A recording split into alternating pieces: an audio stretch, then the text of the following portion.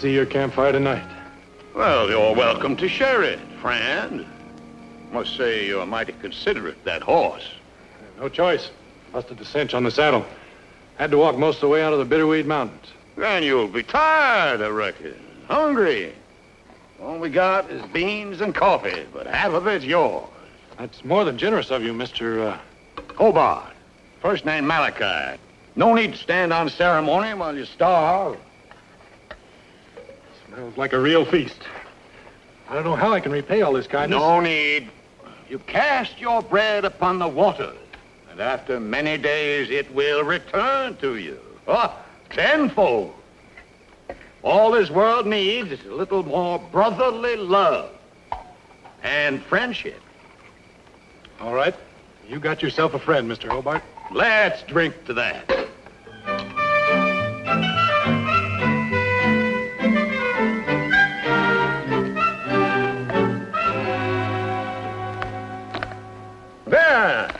That should hold it. Uh, thank you. Uh, sure a lucky break for me, finding you camped here. You traveling far? Hard to say. I thought I might pass through the town of Sandstone, if it comes handy. You got friends there? I'll manage to find friends. Sandstone's bit off the beaten track. About four days hard riding, I'd say, in your wagon. I got plenty of time. All the time in the world. Well, I'll give you a piece of advice. Where the trail forks, take the road that goes north along the dry creek bed. Cuts off about 10 miles from the other way. I thank you. I will take your advice, friend. I wish there was more I could do to repay you. Ah, you just set your mind at ease about that, Duke, my boy. I was glad for your company, and as for the food, it was little enough. After all, we are all brothers under the sky, children under the Lord. You're all right, Malachi. A walking example of what you preach. Good deeds speak louder than words. Well, you haven't pried into my affairs the way I did into yours. I may have been making some guesses. Young man on the trail alone. Obviously been pushing through mighty hard country. And carrying a gun the way it says that he can use it. Some questions is better not asked. Well, I'm a better man for having met you. Thanks again. Your words are thanks enough. I hope we'll meet again, Duke. Bless you.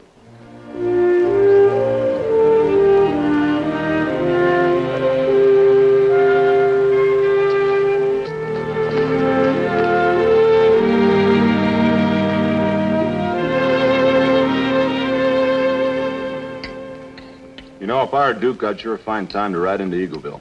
How come? Well, he knows a couple around there, and the wife knows how to cook a real good meal. Hmm. How about some more coffee, Mr. Chris? No, no, no, thanks, Charlie. I don't feel up to it. Chris, Duke ought to be getting back pretty quick, shouldn't he? Well, it'll be a little while yet. That pass through the Bitterweed Range won't be too easy to scout. When he's through, he's going to pick us up where the trail passes Eagleville. You think that new pass will be any better than the old one? No use guessing. That's why I sent Duke out there to find out.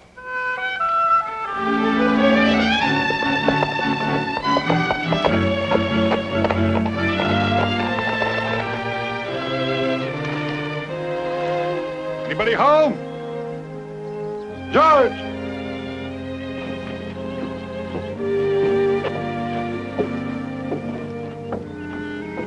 George? Martha? Hello, Duke. Good to see you again, Martha. When I rode up, the place looked deserted. How's George? He's all right now. We been sick?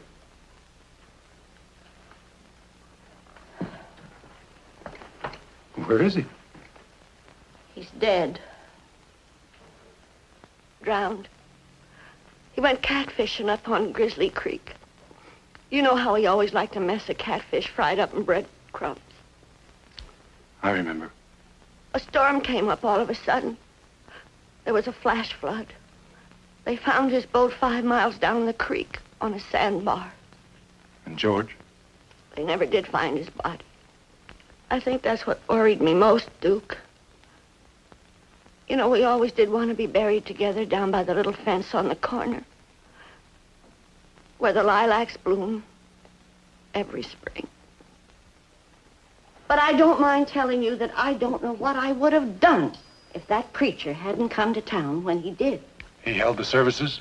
He did more than that, Duke. Far more. Duke, that man was a saint, sent through God's mercy. What was his name? Malachi.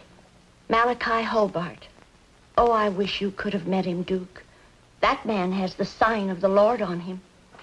Well, as a matter of fact, I... I don't mind telling you I was plenty worried after the first shock was over. You know, my George was a good man at heart. But he had his faults. Plenty of them. So have we all? But George had a few special problems. He was an awful close man with a penny, and he had a great weakness for the bottle. Oh, I know it doesn't do any good to speak ill of the dead, but the truth has to be faced. I knew him best, and I loved him most, so I can say it. George wasn't ready for the almighty judgment. And I knew it would take a powerful lot of mercy on the part of the Lord to save his soul from a good roasting. I was near out of my mind worrying about George's soul until that preacher came to town. He made me know that George is safe in heaven. And I know that as sure as I'm sitting here. Well, if I sit here any longer, we won't get any dinner. This Malachi Hobart must be quite a person. He's a miracle worker, Duke. Why, do you know, when he said his sermon in town, there wasn't a dry eye in that meeting hall. Do you know that he made a collection of almost a thousand dollars? In Eagleville? That's right. I went to Malachi and asked him about saying services for George. We didn't have any funeral, you know. There was nothing to bury. I told him how worried I was about George having a few sins. He said he would pray hard. He would talk directly to the Lord and ask him to be merciful towards him. I gladly gave Malachi my offering. $300 that George and I had saved over the years. All of it? I'd gladly give ten times as much. What price can you put on the difference between eternal happiness and damnation? Well, I guess if you put it that way. Do you mind if I say grace, Duke, before we eat? I never used to. But ever since Malachi came to town, why... Sure. Go ahead. Want me to get it? Don't bother. It's probably Sarah Gately. She and her husband always drop in after dinner to see if I need anything.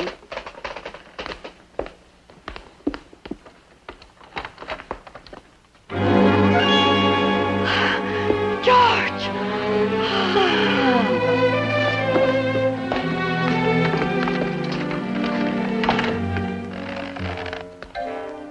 Howdy, Duke. So it's really you, Who was she expecting? not you. What's the matter with her? She's fainted. She's breathing all right. Pulse is good. Do you, do, you, do you want me to throw a little water on her? I wouldn't do that. I'll let her come around slow like. Carry her in on the couch.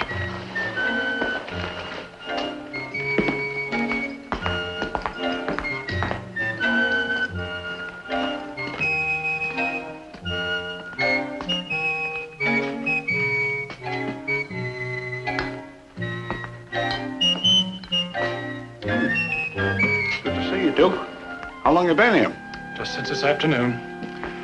Where have you been? Oh, here and there. You know, Martha seemed a mite surprised to see me. You might say that. Well, where did she think I was? In heaven, Now, she knows me better than that. she should. But she figured she bought your way through the pearly gates with $300. Our $300? That's right. But I ain't dead yet. Maybe you want to change your mind. It's crazy. How did I die? Drowned? Boat was swept away in a flash flood while you were catfishing. Oh, yeah, I remember now. Yeah. That's how it all started. Oh, what started? The celebration. I was celebrating not being killed. I kind of forgot after a few days. How come you weren't drowned? I nearly was drowned. I was going down for the third time, and then I felt this rope. My whole life streamed in front of my face. Never mind the dramatics. Just tell me what happened. Well, a, a, a fellow lassoed me and pulled me out. They pumped about a gallon of water out of me. Who's they? A g- gang of trail hands out from Kenwood. They'd just been paid off and their saddlebags were bulging. Well, they knew I was weak and shaky, and they, you know, gave me a little something to warm me up. So you went along with them. Well, by the time the world come straight again, we were halfway to Laramie. Stopped at a little town. They got a few more bottles. I want to tell you, Duke, they were the nicest, most generous fellows you want to meet. You'd have liked them, Duke. I know you would. What about Martha? Didn't you think of her just once through all this? Oh, sure. I couldn't forget Martha. I thought about her some most every day. How'd you think she was taking it? Figured she wasn't going to be too happy about it, but I figured she'd understand. See, I've, I've done this a couple of times since we've been married. Just straight off someplace. Leaving an overturned rowboat? Well, no, I kind of lost track of that side of the picture.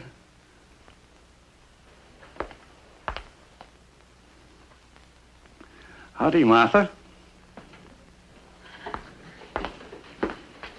He's real, isn't he? He's real. He looks a lot older than I remember.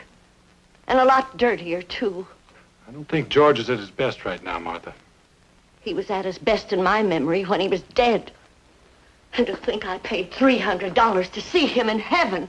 That was a very silly thing to do, Martha. Think of the years it took us to save that. Right now, I'd pay 300 more to see you Now, in... Martha, don't say anything you'll be sorry for. As far as the money goes, I think I can do something about getting it back for you. Oh, do you, Duke? How? Well, I met this Malachi Hobart fellow. He's on the trail to Sandstone. If I leave right now, I can catch up to him by tomorrow night. Gee, that'd be wonderful. We'd sure be much obliged, Duke. Martha, I'm sorry I can't make up for everything you've been through. But I promise you, I'll bring back your money. Uh, wouldn't it be better to leave in the morning? It's gonna be a dark night for riding, Duke. I'll manage. Good to have you back, George. Take care of yourself.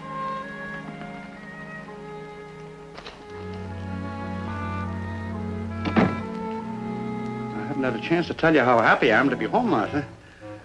It's, a miracle I'm alive. Let me tell you. Save it. I heard. You heard? You heard.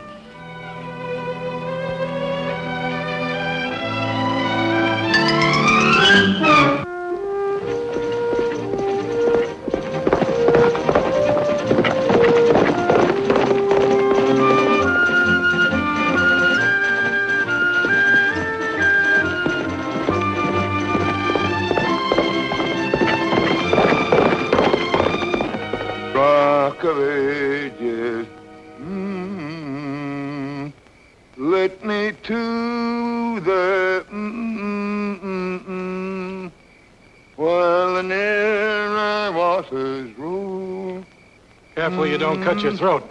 Duke, my boy, I'd hopes you'd meet it again. Yeah, I'll bet. How can you trust yourself with that razor? What do you mean? Boy? I mean, you'd cut a throat for a dollar, wouldn't you? And my throat and I are old friends, Duke. I'm mighty careful of it. Besides, I abhor violence. So do I. So if you'll just get out the money, we won't have any.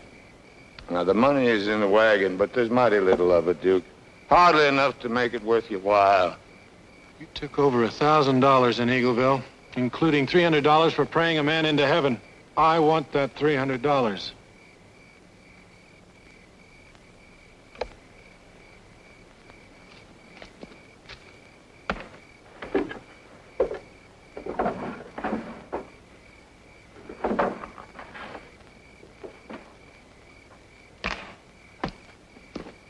Oh, this was hard-earned money, Duke. You don't know the job I had getting that sinner past the pearly gates. He is so mean, miserable, no count. You knew him personally? No, not exactly. But his dear little widow told me all about him. Ooh, he was a bad one, Duke. But I see I didn't misjudge you. You're a smart one. You come by that information mighty fast. Uh, you done about what I expected. You expected this? Oh, you're getting the money from me easy enough. But some people resent being held up. And sooner or later, somebody's going to fight back. You're going to have to pull that gun. Before you know it, you'll be strung up for murder. Must I'll still be fleecing the feet with their blessing. Yeah, that's something to think about. Of course it is. Why should you rob me? Can't do you any good, and it won't do me any harm. I'll get more, just the way I got that. And what'll you do? What are you getting at? Just this. I can teach you the secret. Duke, don't take people's money. Make them want to give it to you. I like you, Duke. I could do a lot for you. You really think so? Uh, if you don't mind my saying so right now, you're just a punk kid with a fast gun. Give up your evil ways, follow in my footsteps.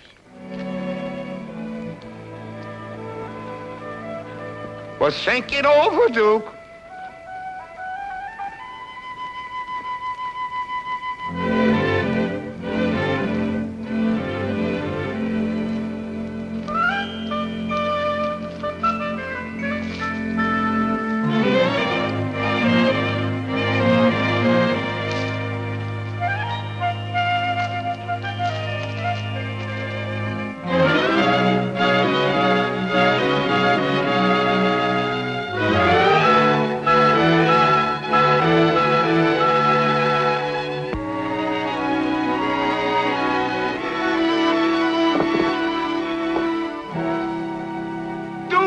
Boy, I knew you'd see it my way.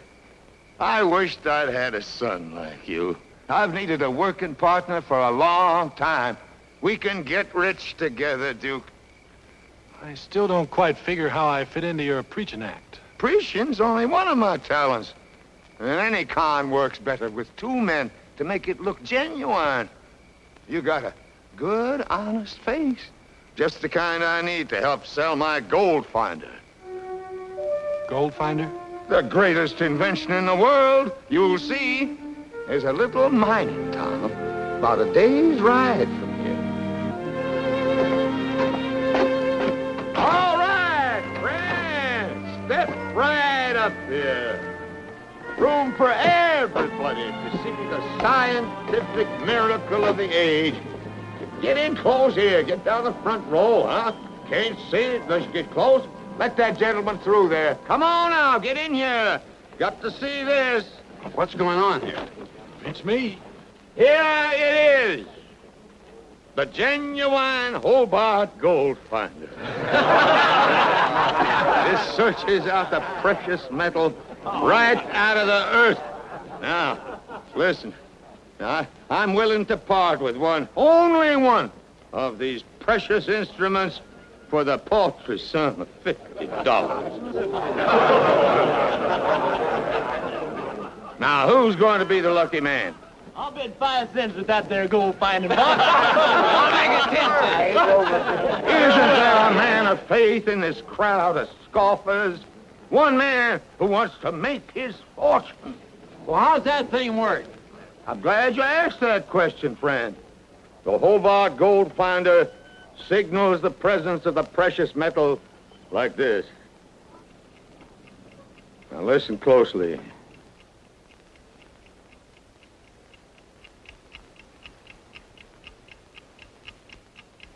You hear that ticking? You hear it? That is the signal that the precious metal is near. That tells you where to dig for your fortune. Now, who wants to be the lucky man? Well, it'd take a miracle to find any gold in them worked out digging. I'll buy it. Congratulations, young man. You're going to be Hornswoggle, son. Who's he? Scoffers! Unbelievers! You just wait. You'll see. You'll see.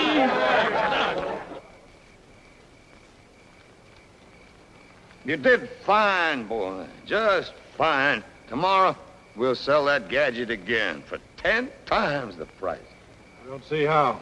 Because it works, boy. It works. Yeah. It found gold for you. Are they real? Of course they're real. This is part of my working capital. And I think your little strike's going to make quite an impression on our audience tomorrow, Duke. Did you ever find it hard to get up in front of all those people and tell them all those lies? Well, it is hard sometimes, but every job has its hard moments. Besides, they ain't all lies. I tell people what they want to hear. I revive their faith in miracles. Yeah, I do more good than harm. How can a phony gold finder do anybody any good? Well, who knows? The Lord works in mysterious ways, as the book says. I remember one time I sold some phony railroad right away, and the railroad really did come through there. I made a few people rich. Doesn't your conscience ever bother you? It used to sometimes, but since I took up preaching, so many people think so highly of me, my old conscience don't dare think otherwise. They wouldn't think so highly of you if they knew you were a fraud. Now, you listen to me, Duke. When I stand up in front of a crowd, I'm not a fraud. I am what they see in me. I'm a man who knows the good word, can make 'em feel it in their dried up hearts. You understand? I am what they see in me. I give fair value for what I take. Even when you pray a man into heaven for $300? Yes, even then. Do you really believe that man's in heaven? Well, who can say? Who can say if there even is a heaven? I wish I knew. I Sure do wish I knew.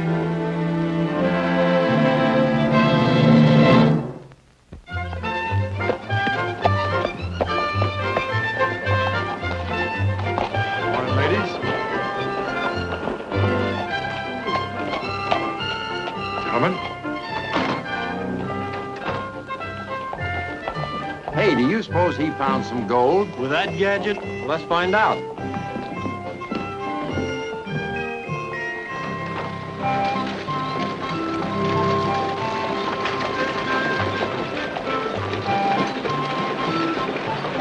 Oh, there.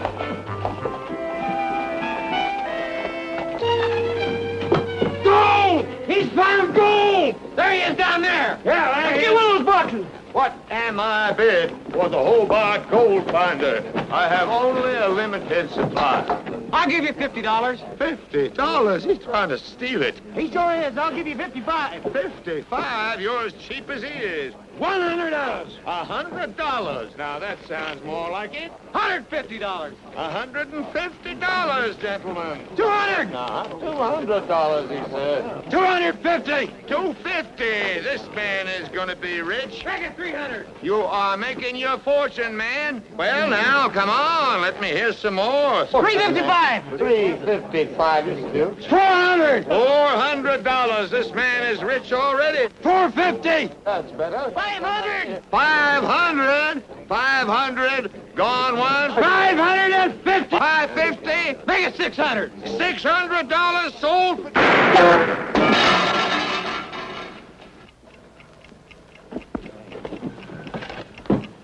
Why, there ain't nothing in it but a cheap dollar alarm clock. Why,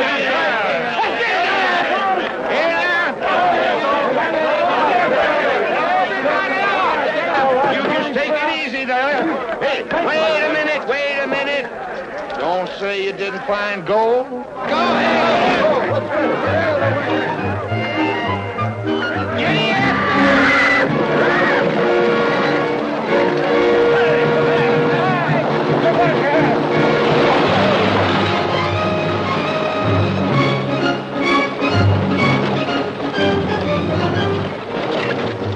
Come riding after us? Oh, hell.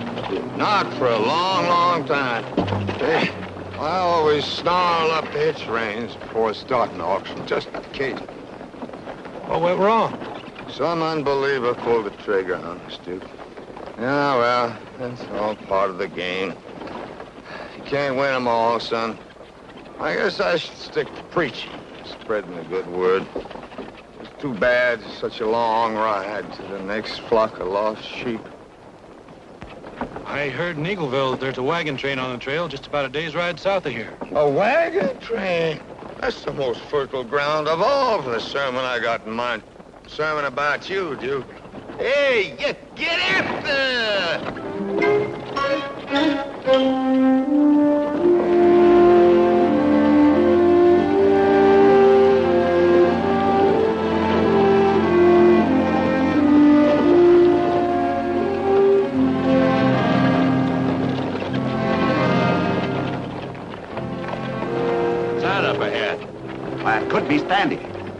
Maybe he ran into trouble. Doesn't look like his wagon. I'll go have a look. Right.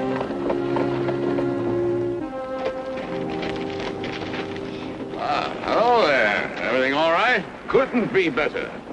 Are you the wagon master? That's right. Chris Hale's the name. Well, I'm mighty pleased to meet you, Brother Hale. I'm Malachi Hobart, servant of the Lord.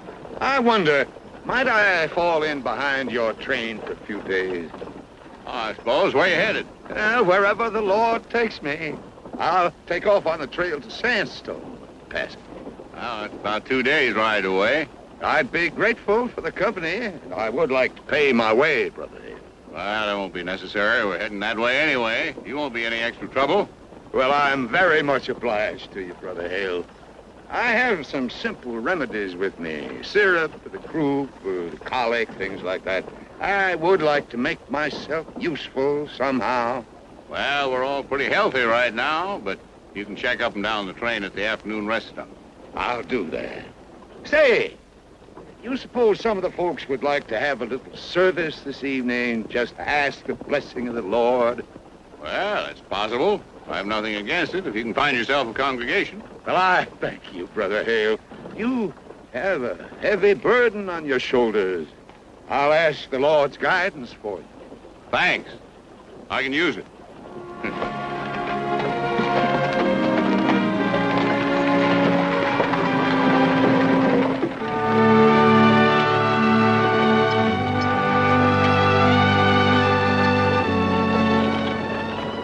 With me, Duke boy? I'm with you, Malachi. I feel this will be a most rewarding evening. We're climbing up them golden stairs.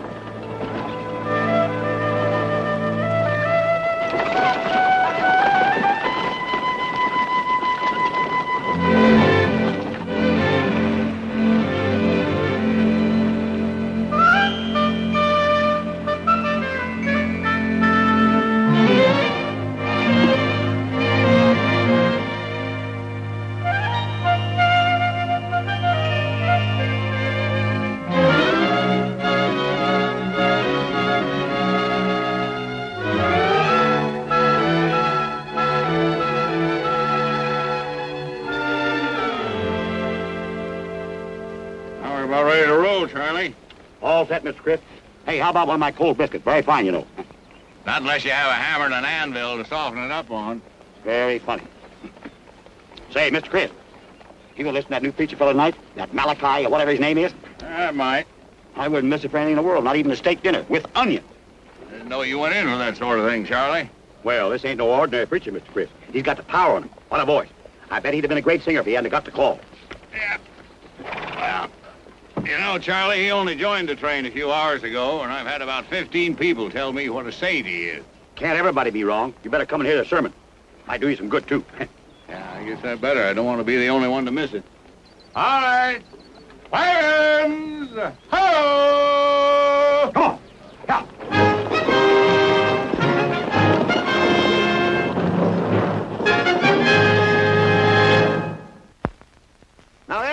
Everybody hates a long sermon.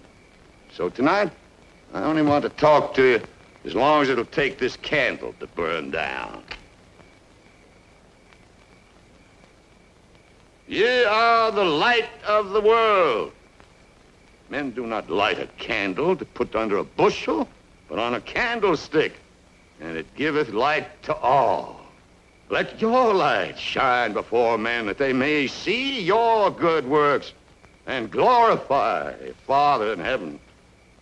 Some of you came here tonight to hear me only out of curiosity. I know. But I know.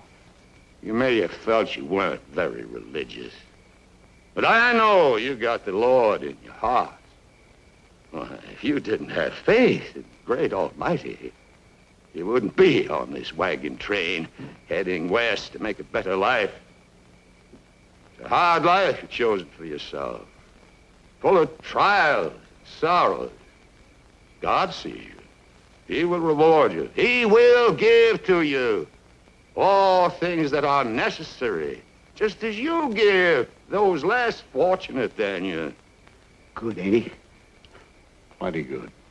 Now, I'm leaving this wagon train tomorrow to go into the wilderness, to build a church, to bring the word of the Lord to some lost and struggling souls. I will take with me renewed faith from all ye good people. For all things are possible to those that had faith. How are you going to renew my faith? Let me talk to you about that for a moment. Now, before I ask you to give what little you can afford for the Lord's work, I want to show you a living example of what faith can accomplish. I want you all to see what your donations will make possible. A human soul brought back from the edge of destruction. When you all see this man, you'll know you're not just giving dollars to a preacher, but you're giving lost souls back to the Lord. This man confronted me one night on the trail with a gun. He was willing to kill me for whatever I possess. And what sort of evil can bring a man to this state? Liquor, for one thing. He had too much of it for too long. It was a craving now. And loose women, they were a part of it, too. He had become a slave to his desires. But this man has been brought back to dignity and humanity through faith. This man is a living miracle.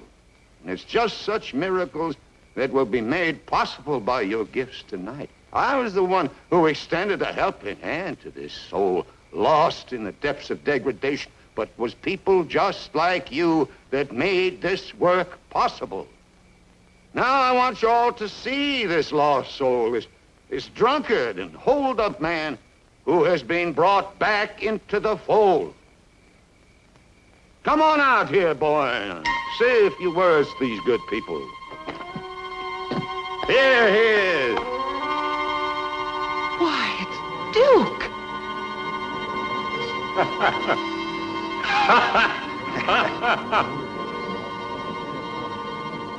Fake! We don't want his kind around here.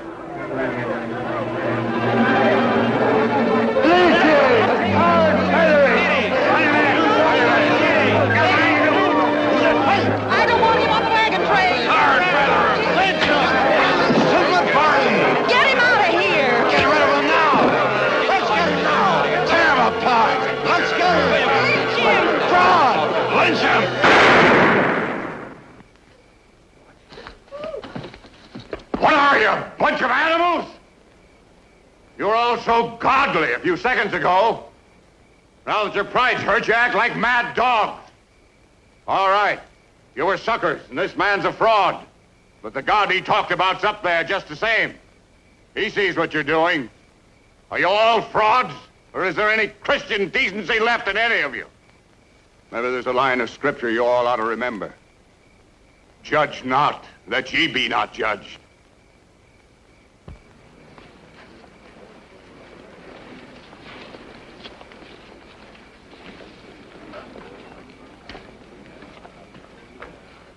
Well, Duke, I'm a little surprised to see you here. I guess everybody was. You took quite a chance, but I guess you had your reasons. Figured Malachi had something to learn. It was a hard lesson.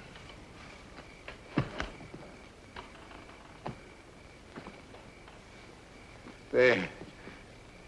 They might have killed me, except for you two. They might have. They hated me.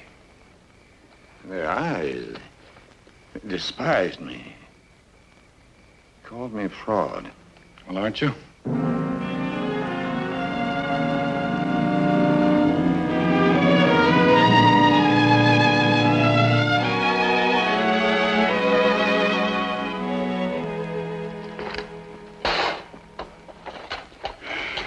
What's for breakfast, Charlie? I don't know. What does a reformed drunkard eat? Wagon coming. Is that Bill driving? I don't know. Let's go see.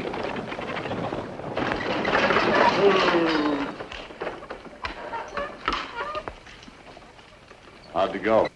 Not so good. Doctor said there was nothing he could do. She, she may not live long enough to get home. What's the trouble? She's got a fever.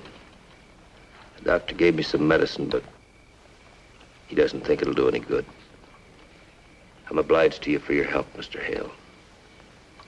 Now, if I can have my own team back, I'd like to get moving again. Well, there's no hurry now, is there? Why don't you have something to eat with us? No, no thanks. Last time Leona was conscious, she said, she said she wanted to die in her own house. I'm going to try to.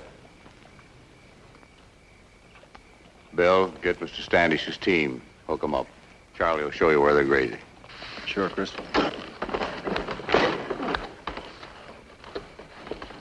Anything you need for the trip home? No, I reckon not. Might as well get this team out of the way.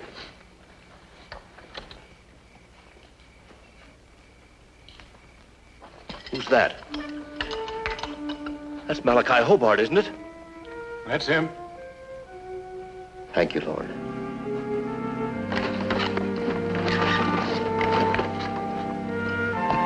Brother Hobart, you've got to help me, please. Who are you? Don't you remember? Roy Standish. You remember my wife, Leona? You said she made the best biscuits and gravy west of the Mississippi. I remember. She's awful sick, Leona is. Please, you've got to help us, Brother Hobart. I'm afraid you don't understand the situation, Mr. Standish. I understand enough. I know that this man can work miracles.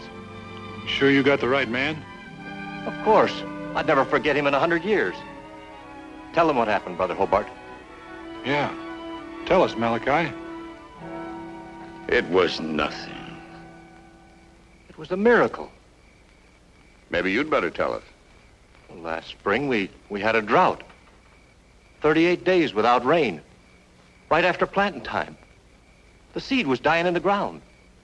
You know what this means? I know. Starvation, that's what it means. Or else pull up stakes and move on and lose everything you've been building for 10 years. But Malachi Hobart saved us. Mr. Standish. He's a modest man, a humble man. He won't claim any credit. But I know the facts. Malachi Hobart prayed for rain. And suddenly the heavens opened up and it did rain. And we had the best crop we ever harvested. Please, uh, this is all the past. It's God's own mercy that I found you today, Brother Hobart. Please, please see if you can't help Leona.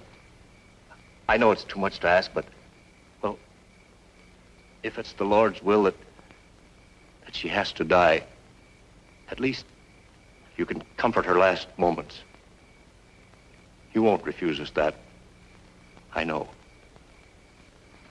I'll go and tell Leona you're here. I, I think I can make her understand.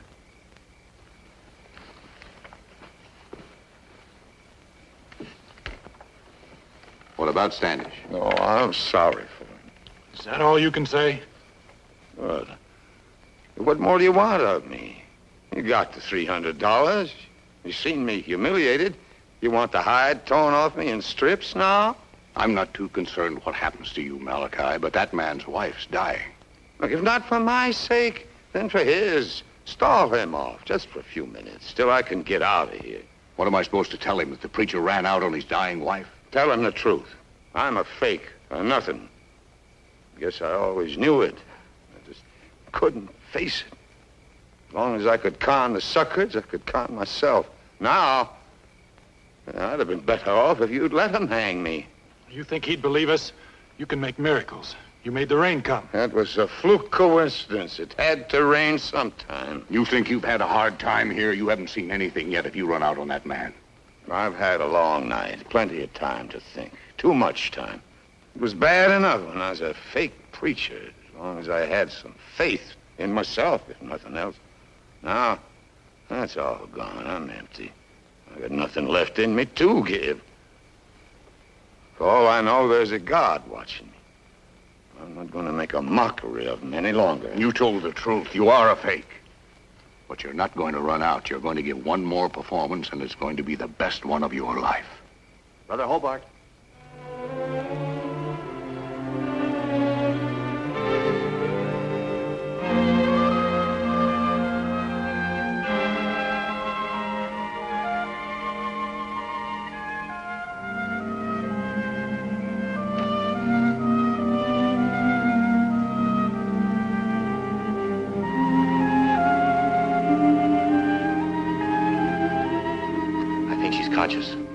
See her now? Yes, I'll see her.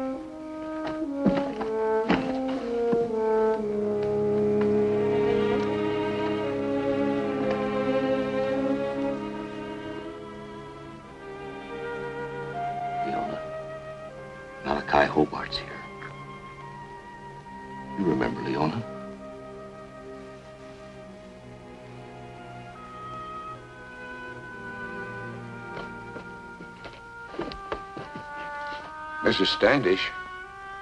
Leona.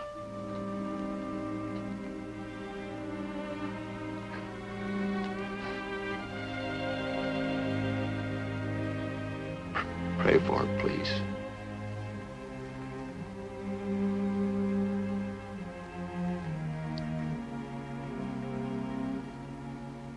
Could I have a few minutes alone?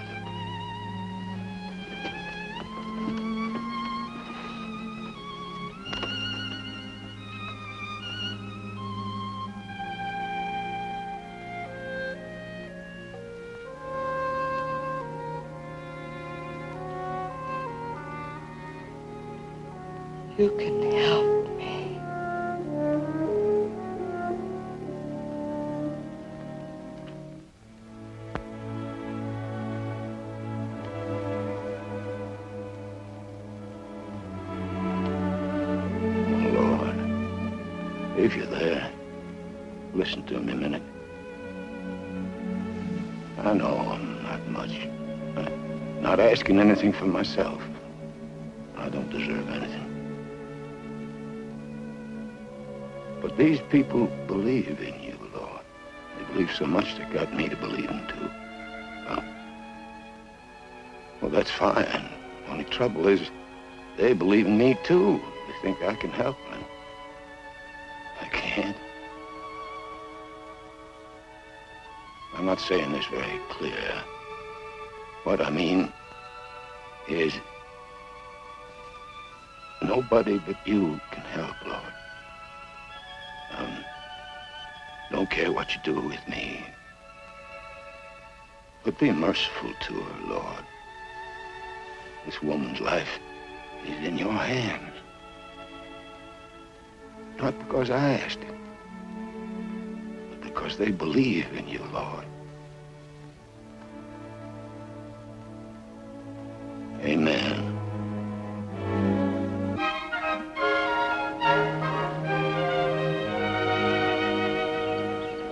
We did the right thing, Duke? What else could we do? Well, how is she? The fever's broken. She's asleep. You hear that? Asleep. Not unconscious, but asleep. She's going to get well. Malachi Hobart's worked another miracle. Where's Malachi now? I came to ask you. I just came from his wagon. He's not there. One of his horses is gone, too.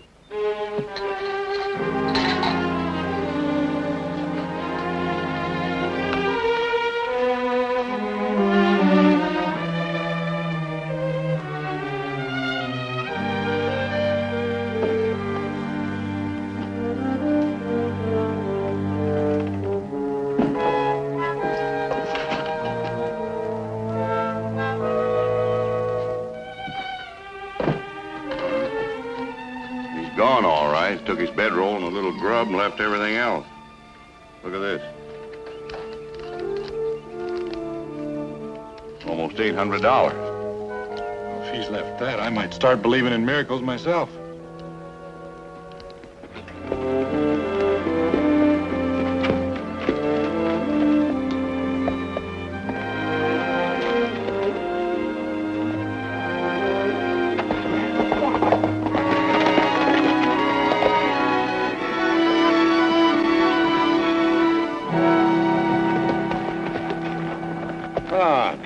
Surprised to see you again. I had to be sure of something. I might have misjudged you, Malachi. I think not. Not the way I misjudge you, anyhow. You didn't make much of a prize convert. What about your wagon and outfit? Ah, I better tell Hale, give it to old man Beardsley. His wagon will never make it over the mountains. What about these? That's the stuff I got from the people at Eaglesville. You better give it back to them. Tell them to build a school with it. What about the papers? This one says, Malachi Hobart is the official land agent authorized to buy right-of-way for the Great Western Railroad. Oh, no. no. I won't need that ever again. I'm glad to hear it. What will you do now? The Lord will provide. After all, anything is possible for a man who has faith.